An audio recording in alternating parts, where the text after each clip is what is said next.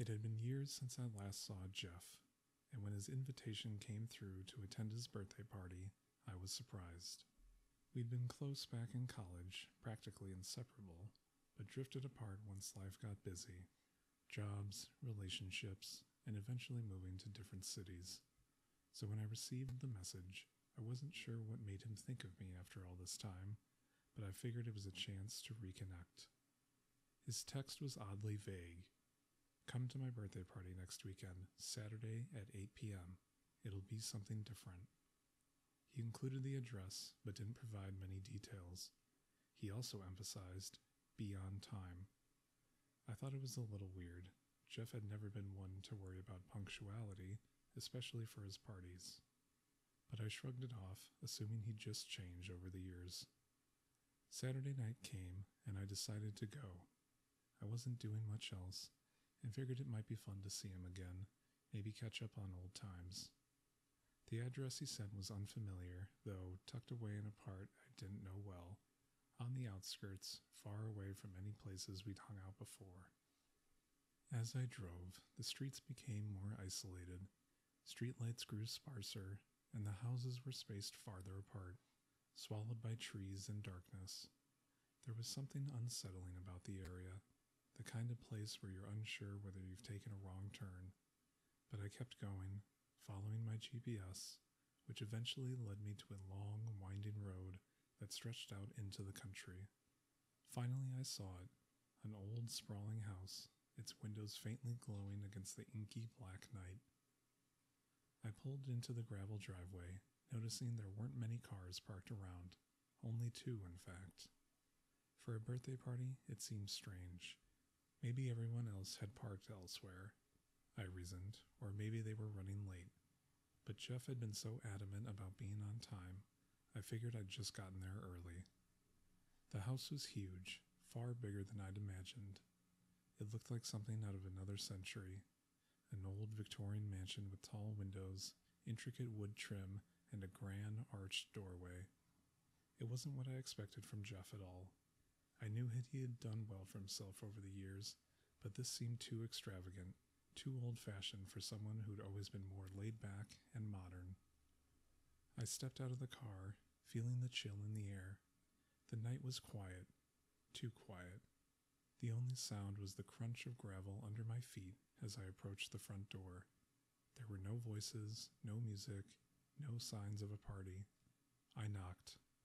The door opened slowly, revealing a man I didn't recognize. He was tall, with sharp features, and dressed in an old fashioned black suit, the kind you'd see in period dramas. His face was pale, his expression blank. For a second, I thought I had the wrong house. Uh, I'm here for Jeff's party, I said, holding up a bottle of wine I'd brought. The man looked over me for a moment, his eyes flickering to the bottle, then back to me. Without saying a word, he stepped aside and gestured for me to come in. I hesitated. Something about him unsettled me, but before I could say anything, he spoke his voice low and cold. Of course, come in. I stepped inside, feeling a strange heaviness in the air. The door closed behind me with a soft, deliberate thud. The entryway was grand dark wood paneling, a massive chandelier overhead, and a staircase that curved up into shadows. But despite the grandeur, the house felt wrong. The lights were dim, and the air was thick, almost suffocating. No sounds of laughter or chatter, just silence. The others are in the drawing room, the man said, his tone devoid of any warmth. He turned and started walking down a hallway, expecting me to follow. I did, but unease began gnawing at me. Who were these others, and why wasn't Jeff there to greet me? We passed through several rooms, all decorated with heavy curtains, antique furniture, and thick rugs that muffled our footsteps. It felt like stepping into another era. There was something eerie about the stillness of the house, the way the candlelight flickered but cast no real warmth. I kept expecting to hear music or voices, but it was disturbingly quiet. Finally, we reached a set of double doors. The man pushed them open, revealing a large drawing room. Inside, a small group of people sat in a circle. There were about eight or nine of them, all dressed in the same old fashioned clothes as the man who had greeted me. Some wore long, flowing dresses, others had suits that looked like they belonged in a different century. They sat motionless, their faces expressionless. I scanned the room, but Jeff was nowhere to be seen. Welcome, a woman said, rising from her chair. Her voice was soft, almost musical, but there was no warmth in it. She was pale, with dark hair pinned up in an elegant style. She wore a long, antiquated gown. You're just in time. Please, sit. I felt my heart began to race. This wasn't right. This wasn't Jeff's party. These people, whoever they were, felt wrong, like they didn't belong in this time. I glanced around, searching for a polite way to excuse myself. Is Jeff around? I asked, trying to keep my voice steady. I think I'm at the wrong place. The woman smiled, but it didn't reach her eyes. There's no mistake. We've been expecting you. The air in the room seemed to grow colder. My instincts screamed at me to leave, but something about the way she said it, we've been expecting you, sent a chill down my spine. I took a step back towards the door, ready to leave, but the man who had brought me here was standing in the doorway, blocking my exit. My heart pounded. I think I should go, I stammered, taking another step back. The woman's smile widened, but it was hollow. You can't leave, not yet. The ritual hasn't begun. Ritual? My mouth went dry. I turned to leave, but the man in the doorway didn't move. I felt trapped, the air around me growing heavier. The others in the room still hadn't moved from their seats, but I could still feel their eyes on, cold and unblinking.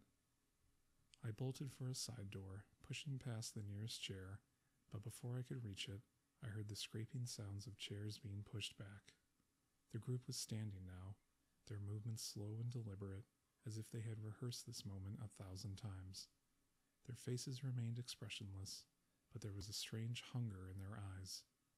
I yanked the door open and ran.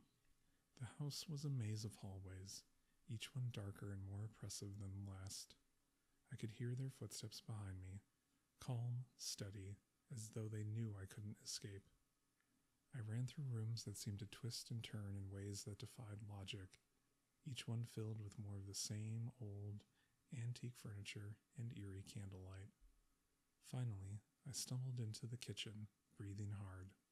My hands shook as I looked around, desperate for a way out. Then I saw it a back door, slightly ajar. I didn't think. I ran to it, yanked it open, and sprinted into the night air. The cold hit me like a slap, but I didn't stop. I ran toward my car, my pulse pounding in my ears. Behind me, I could hear nothing but the rustle of leaves and the distant creak of the house settling. No footsteps, no voices. I jumped into the car, fumbling with the keys, and started the engine. As I backed out of the driveway, I risked a glance at the house.